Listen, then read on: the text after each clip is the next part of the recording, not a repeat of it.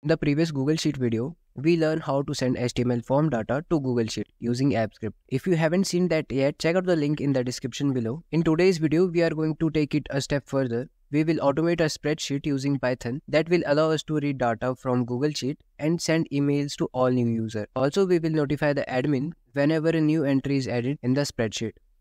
We have a HTML form here. So when we submit this form, we will get all the data in our Google spreadsheet that is already has been done so in this video, what we are going to do is we will create a Python script that will read this data from the Google spreadsheet and send email to every user. And also we will send a email to admin to notify that a new feedback is submitted. To read this spreadsheet data with Python, you need some credential to authenticate. So let's get started with that.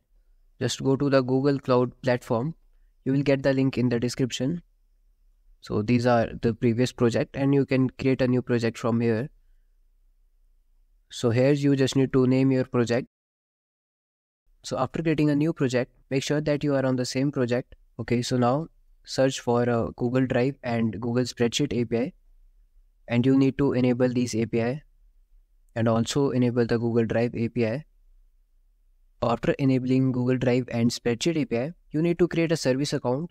Go to the IAM and admin section. In the sidebar, you can see service account now just create a new service account from here. Name your service account and then click on create and continue. Then it will ask you to grant some access. You can skip this process by clicking on done. So now you just need to generate credentials. Just click here. And in the key section, you will get an option to add a new key. Just create a new key. And here you will get two options to set the key type. Select JSON and create a new JSON file will be downloaded to your system. So in the JSON file, you will get a client email. Now you need to share your spreadsheet with this email. Just copy this email and in your spreadsheet, paste the email here and set the access to editor. Now we need to create our Python script that will read this spreadsheet data. So first you need to install some required packages.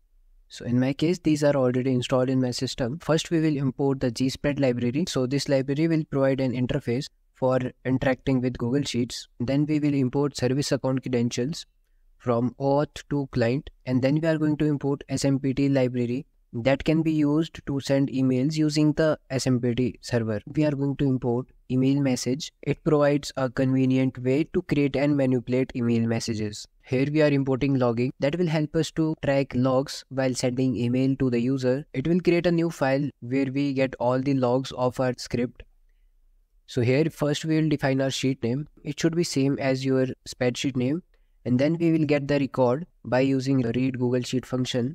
Uh, and in this function we are using another function to authenticate Google Sheet. And let's see the definition of authenticate Google Sheet function. So in this function, first we create a list of scopes. It specifies the permissions that the application needs when accessing Google Sheet and Google Drive. And then we will use service account credential class to load the credential from the JSON file that we get from the Google Cloud Console. And then we will use gspread library to authorize the credentials which return a authorized client and this client will be returned by the function. And here we will open our spreadsheet and then we will get all the detail from the spreadsheet and then return all the records. So basically this function will return a record. Here we are iterating over the record using enumerate that will keep the index and the record. So these are the records right now on our spreadsheet. So if we print the record, then you can see here we get all the records of our spreadsheet. So when we submit this form, by default status of the email will be new that we set during form submission in the JavaScript. So you will get all the updated code in the description and now here we have a simple Python logic that if the email status is equals to new, then we will send email to the user and also we send the notification email to the admin. So here we are using load email template function that will take file path and name in the parameter. Uh, it will open the file in read mode. So we are using this template in which we will replace the name with the username by using dot format function. So here we have passed the file path and the name of user and then we are using send email function that will take recipient's email, subject and body in the parameter. So in this function, we are creating an instance of email message class that construct the email by setting its headers like uh, sender's email, recipient's email, subject and body. Here, we have some SMPT server configuration I'm using Mailtrap for testing purpose. You can use another SMPT server according to your need. And then here we are using SMPT library to send the email message with SMPT server. So after sending the email to user and admin, uh, we will update the email status in the Google Sheet. So in the update email status function, we will take three parameters. First, the sheet name. Second one is the row number and third the status. It will first authenticate the sheet which will return the client and then open the sheet and update the cell in that sheet.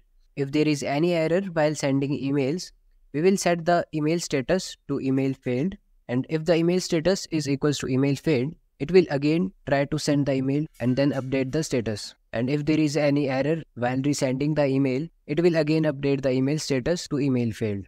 And that's all.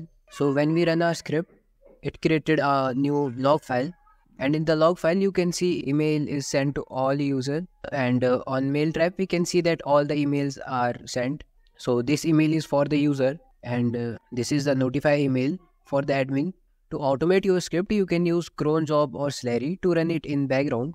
But for testing purpose, in this video, I am using schedule module to handle the task scheduling. The schedule module make it easy to run the script at regular intervals, which is ideal when testing functionality locally. Now, if I run the script with b flag and followed by the number like 1, it will schedule the task to run every one minute. So if you check the log file, you will see the entry showing that the script is running every one minute and sending the emails and updating the Google Sheet automatically. Uh, so this method is perfect for local testing, but for production environments, I just recommend using more robust solution like Cron or Celery for handling background tasks.